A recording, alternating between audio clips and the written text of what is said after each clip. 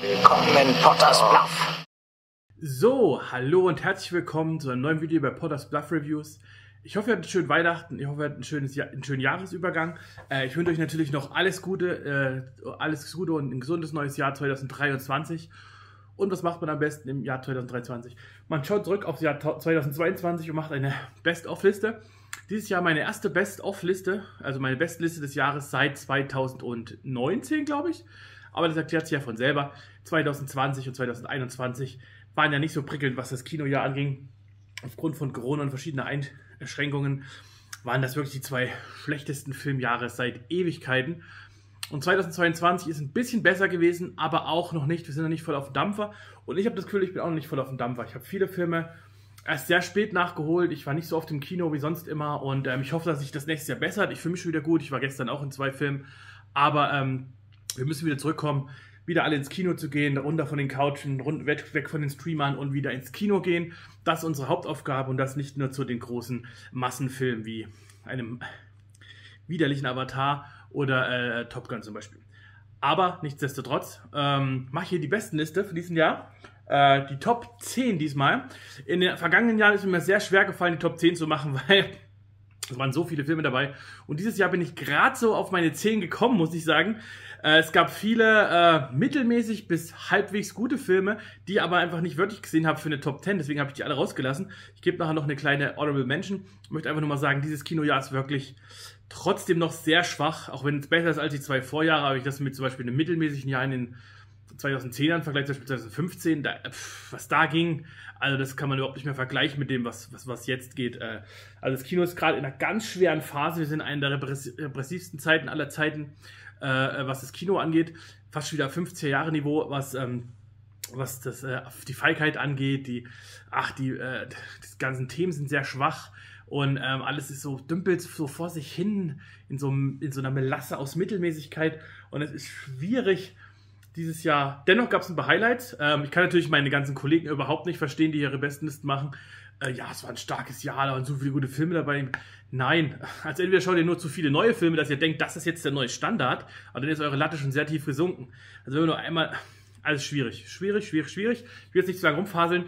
Ähm, ich fand an mit ein paar Honorable Mentions, die mir auch Spaß gemacht haben, die, die ich einfach nicht auf einer Top-Liste sehe. Da gab es zum Beispiel jetzt an Weihnachten den wunderbaren Violent Night mit David Harbour als Santa Claus. Äh, der hat Spaß gemacht, war ein netter Actionfilm äh, mit sehr vielen 90er Jahre, 80 Jahre Referenzen, quasi stirb langsam mit einem Weihnachtsmann, kann man fast sagen. John Leguizamo ist aufgetaucht, hat Spaß gemacht.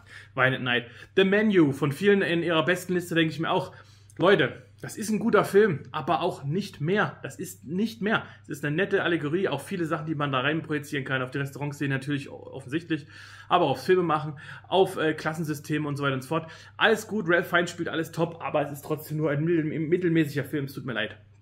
Äh, Crimes of the Future. Unser guter Freund David Kronberg hat endlich wieder einen Film gemacht. Äh, leider merkt man jetzt aber auch langsam an.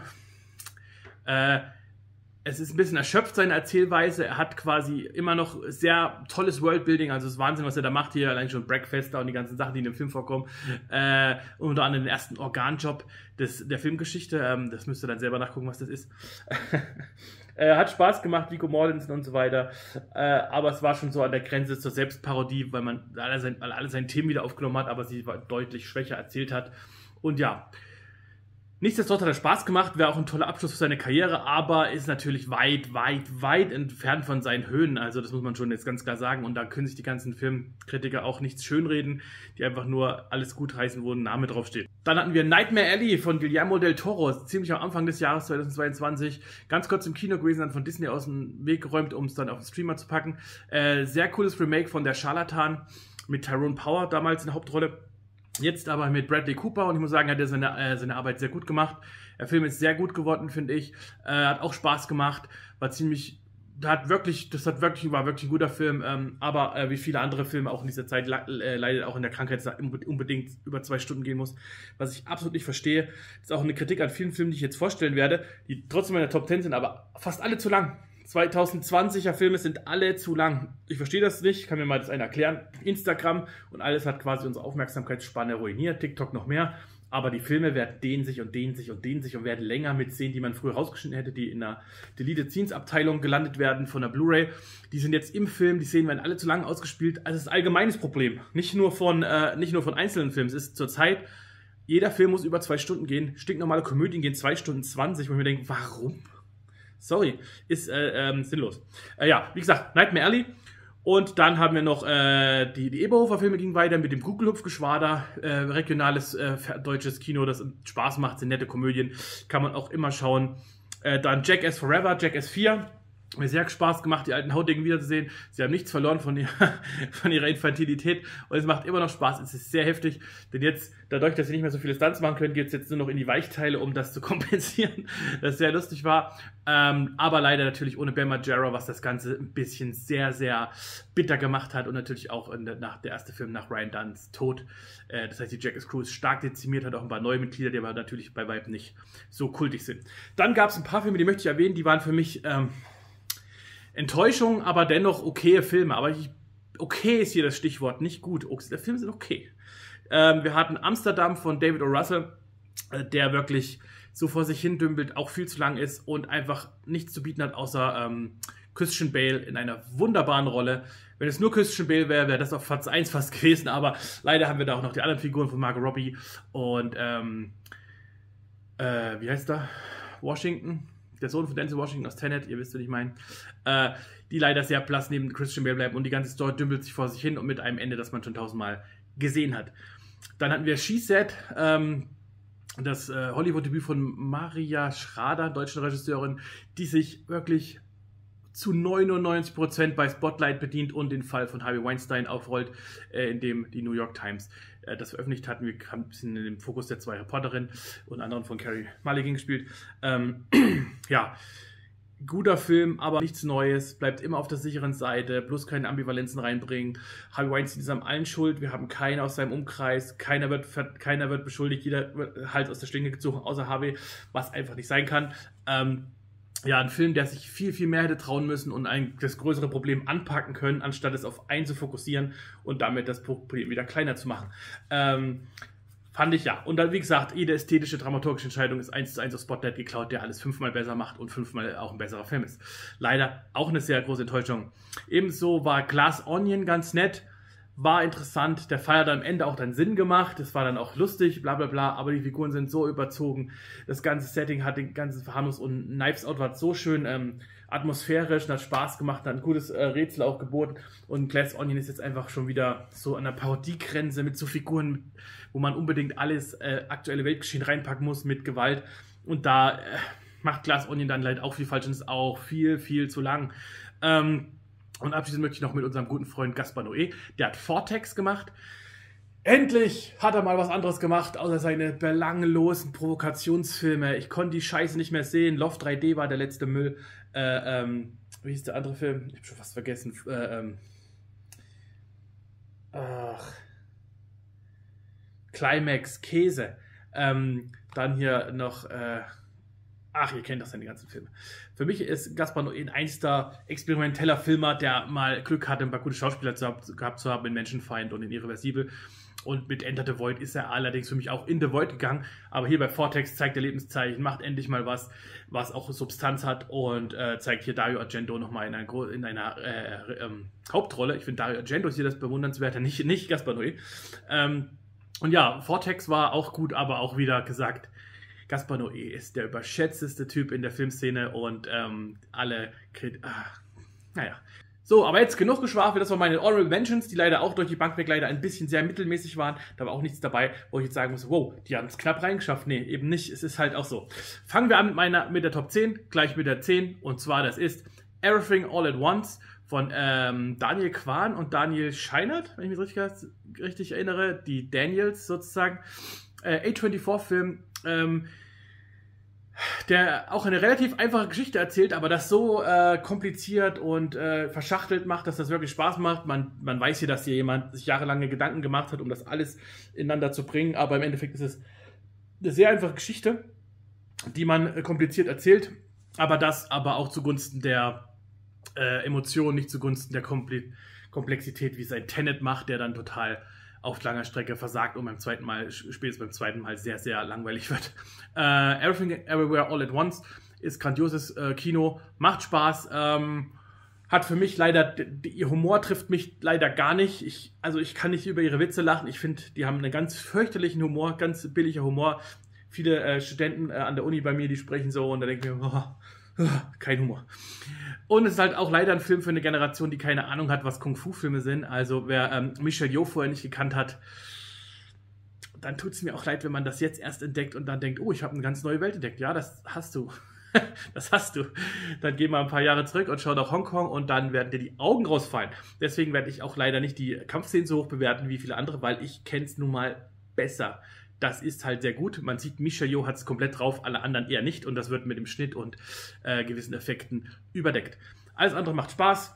Erinnert mich so eine, als ob sich Matrix mit äh, Rick und Morty gekreuzt hat für kurze Zeit. Und ja, viele Gags sind natürlich ja, wie gesagt, fallen eher flach, äh, muss man leider sagen. Die emotionale äh, Story ist dann auch nicht so komplex, wie man denkt. Jamie Lee Curtis hat eine coole Neben Nebenrolle. Ähm, die taucht übrigens in beiden Listen auf, Flop und Top 10. Ich glaube, ihr werdet wissen, was auf der Flop 10 ist. ähm, ja, das war's zu Everything Everywhere All at Once. Unbedingte Schauempfehlung, ähm, aber lasst euch nicht so sehr hypen. Der Film ist gut, aber auch nicht so gut. Dann haben wir Nummer 9 mit Der schlimmste Mensch der Welt ein Film aus Skandinavien äh, von Joachim Trier, wenn ich mich recht erinnere, mit Renata Revisve. Ich habe seinen Namen vergessen. Renata Renive oder sowas. Äh, eine wurde betitelt als eine romantische Komödie für Leute, die romantische Komödien hassen. Ähm, die erste Stunde des Films habe ich mir gedacht, hm, sehr viel Geplänkel und so weiter. Aber dann zieht der Film richtig an, erwischt einen emotional an vielen Ecken und Kanten äh, erzählt viele Wahrheiten, auch unangenehme Wahrheiten, die man sich dann selbst stellt. Auch gerade hier in der Filmszene, wo viele Sammler unterwegs sind. die Szene, wo der äh, kranke Freund von ihr über sein Leben reminisziert und über seine Sammelleidenschaft. Ja, das trifft. Er hat auch mich getroffen, aber auch äh, viele Szenen mit ihr sind grandios geworden. Ähm, der Film bleibt relativ weit vom Kitsch weg. Die große Szene, die auch auf dem Cover zu sehen ist, ähm, wo die Zeit sich so anhält, fand ich leider sehr unnötig und hat den Film für mich eher nicht so bereichert. Ich fand das auch sehr interessant umgesetzt, aber man hat natürlich gesehen, sie haben halt einfach gestanden und man hat halt die Kamera bewegt, damit man nicht so sehr sieht, dass es einfach Leute sind, die so machen. Aber das war es leider nur. Äh, nichtsdestotrotz erzählt der Film seine Story astrein. Äh, es trifft harte Realitäten im Leben. Auch äh, diese ähm, absoluten äh, Supergefühle und äh, hundertprozentige Sicherheit, die viele Romcoms haben, äh, umschifft er, weil das ja im Leben nun mal nicht so ist. Und deswegen hat er es schon verdient. Aber auch meiner Meinung nach, wie Everything All at Once, sehr, sehr überbewertet. Übrigens auch viel zu lang. 2 Stunden 10 geht dieser Film. Everything All at Once, 2 Stunden 20. Auch zu lang. Sorry. Ähm, genau. Dann haben wir Platz Nummer 8. Man von Alex Garland, äh, den ja viele äh, sehr gefeiert haben durch seine Filme ähm, Ex Machina und ähm, Die Auslöschung. Ähm, äh, ich muss sagen, das ist der Film von den drei, die mir am wenigsten gefällt, aber sehr gut erzählt und mit Rory Kinnear, der hier mehrere Rollen spielt im Film, alle Männer im Film quasi, ähm, fast alle, äh, ist das schon ein sehr, sehr guter Film mit krassen Effekten am Ende, sehr, sehr heftig sogar. Der für mich ein bisschen zu künst, gekünstelt ist manchmal, aber was auch in der Story selbst liegt. Aber er ist gruselig, er hat tolle Szenen, versteht seinen Horror wirklich gut, hat sehr verstörende Szenen äh, hat aber dieses ähm, Problem auch, was viele äh, so Filmkritiker äh, Lieblinge haben. Er will sehr symbolhaft sein, damit man sehr viel rein interpretieren kann, damit man machen kann und sein, ähm, sein äh, Hintergrundwissen anbringen kann, dass man vor dem Film recherchiert hat mit allen Interviews und dann sagen kann, hey, ich habe den Film total verstanden und ich benutze das Wort Sujet anstatt Thema, aber das ist eine andere Geschichte. Man, völlig verdient auf Platz 7. Jetzt kommt, äh, Platz 8, Entschuldigung. Platz 7 hat Top Gun Maverick. Jetzt werden natürlich viele sagen, hey, du hast die anderen so kritisch angegangen. Top Gun Maverick, das ist doch so ein äh, militärgeiler Film, der äh, eigentlich total dämlich ist und totales Popcorn, bla bla bla. Ja, ist er. Aber so verdammt gute Action-Szenen. Sorry, Leute, das sind echte Jets, die echt geflogen werden. Ich kann es nicht nochmal sagen. In einer Kinolandschaft, in der jede einzelne Action-Szene von CGI überlastet ist, bei dem man nicht einmal das Gefühl von Gefahr hat, ist Top Gun mit seiner Oldschool-Haftigkeit ein frischer Wind. So, so weit sind wir gekommen. Top Gun macht Spaß, ist dramaturgisch astrein äh, äh, gebaut und das ist für mich Propaganda, aber mal ganz ehrlich, das ist Popcorn-Propaganda, wie es Tarantino gesagt hat. Leute, wer das ernst nimmt, der hat es eh total verrissen. Ich weiß, viele Amerikaner nehmen diesen Film Bier ernst, aber Leute, der Film wirkt eigentlich so, man, man, man, man, man wartet von einer Action-Szene zur anderen Action-Szene, zwischendurch hat man werbeartige Clips, keine Ahnung.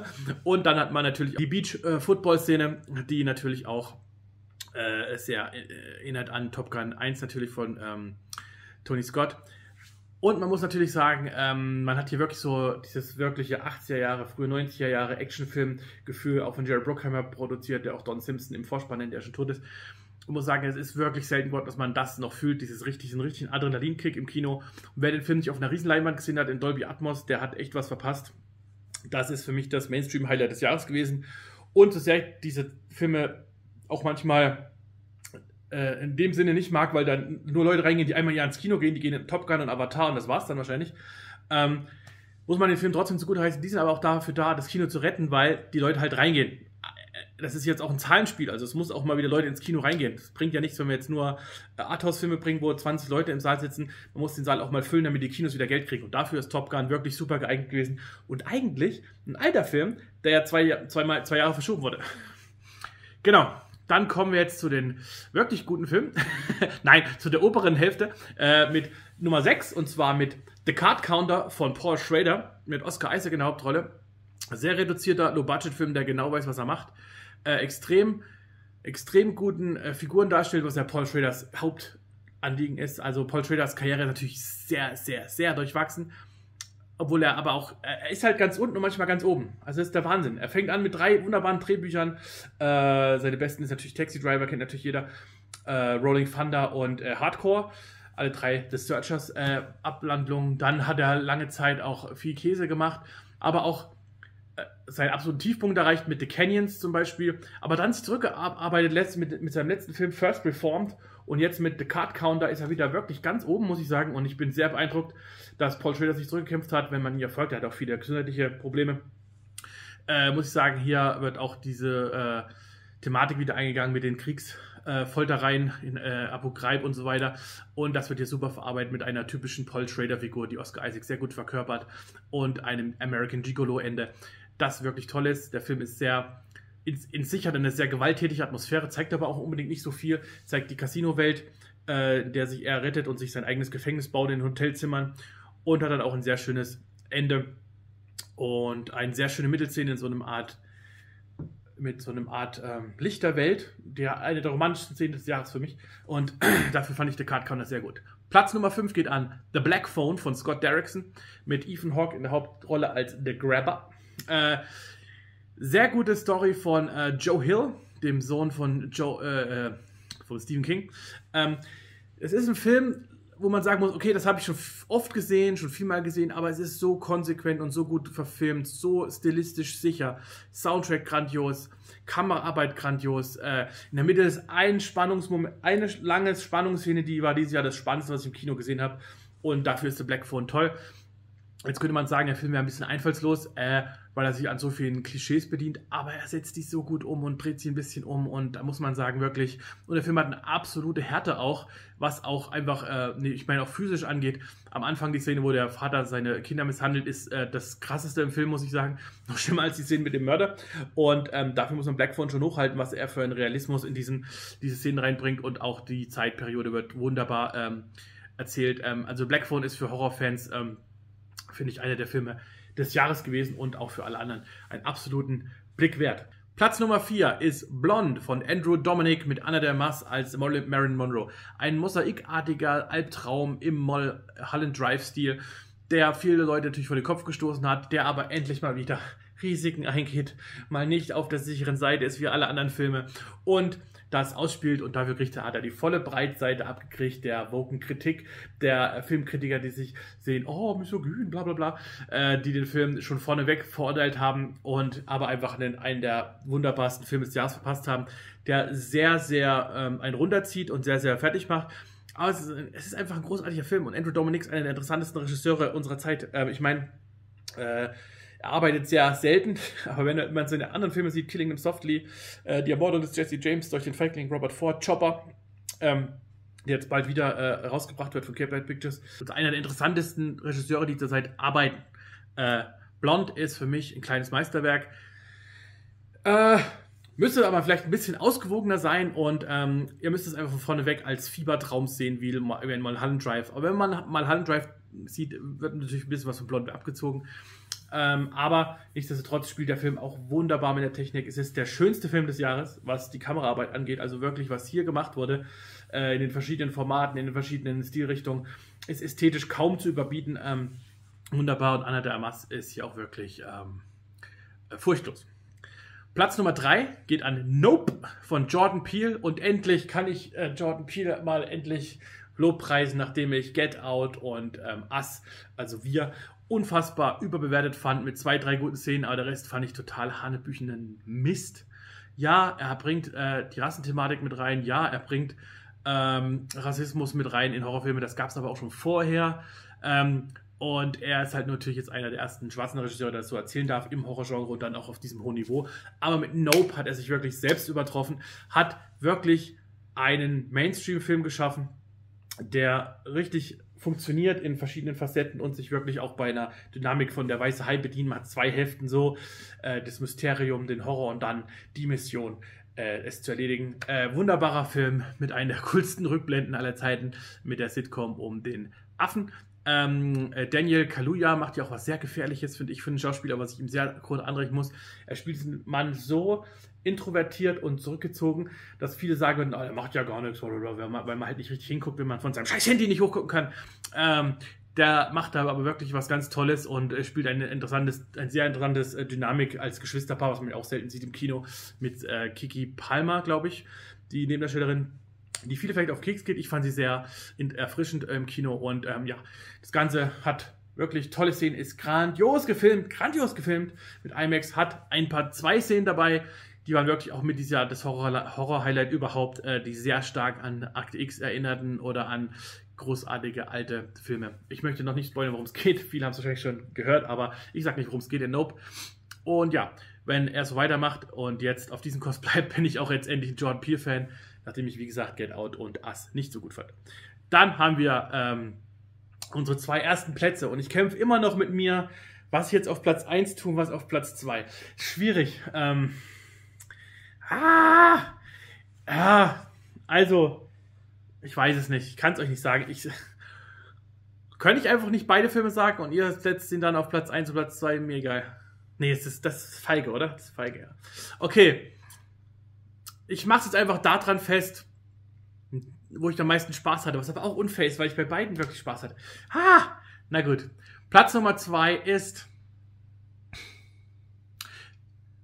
Ich gebe dem, Au dem Außenseiter diesmal Vorrang und nehme den Film, den ich zuerst nehmen wollte, auf Platz zwei. Platz Nummer zwei ist Licorice Pizza von Paul Thomas Anderson oder wie ihn die coolen Filmkids nennen, PTA.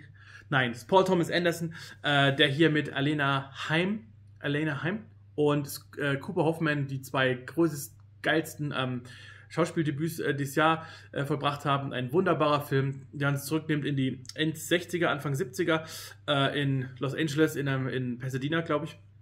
Und vollgestopft ist mit grandiosen Gastauftritten von John Penn, Bradley Cooper, uns wunderbar die Zeit mitnimmt und einfach schwelgen lässt. Einer der schönsten Liebesfilme überhaupt des Jahres und einfach mit einem fantastischen Soundtrack, einer wunderbaren Visualität. Also der kommt auch ganz nah an Blond dran. Paul Thomas Anderson ist natürlich einfach ein, ein, Kinokind, ein total besessener äh, mit dieser, äh, dieser Art. Und wie gesagt, äh, ein sehr toller Rumhängfilm das ist so für mich sein Once Upon a Time in Hollywood, wenn man das sehen kann, auf einem kleineren Maßstab. Und ähm, ja, ganz toller Film, Spaß gemacht ohne Ende, äh, mit einer wunderbaren Ästhetik. Und hier stimmt wirklich alles. Licorice Pizza ist ähm, verdient auf Platz 2, einer der größten Filme dieses Jahres, kam relativ im Frühjahr raus. Ich möchte auch nochmal sagen, meine Liste ist natürlich auch eine klassische Liste. Wir sind hier in Deutschland, also geht es vom 1. Januar bis zum 31. Dezember 2022 mit den deutschen Releases. Ich lade mir nichts vorher aus dem Internet runter, ich kriege keine Screener-Kopien, ich kriege keine Presseführung von Filmen, die schon vorher rauskommen.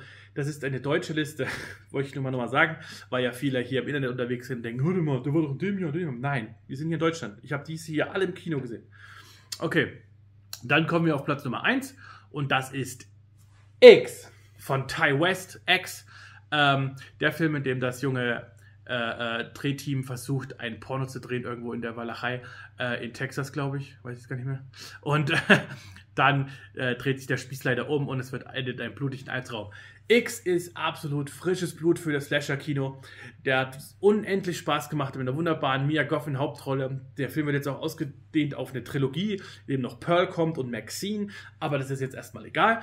X ist an sich wunderbar gefilmt, macht Spaß, ähm, ist sehr brutal, sehr, äh, hat sehr schön Humor, schwarzen Humor und dreht die, die, diese ganze Slasher-Sache mal um indem die Motivation des Killers mal umgedreht wird zu allem anderen, was man im, im Slasher-Genre kennt und somit wird was Neues geschaffen. Der 70er-Jahre-Look ist natürlich der Hammer, man sieht hier die Vorbilder, äh, Texas Chainsaw Massacre und so weiter und so weiter und so fort. Ganz viele Filme, Eaten Alive von Toby Hooper werden hier verbraten.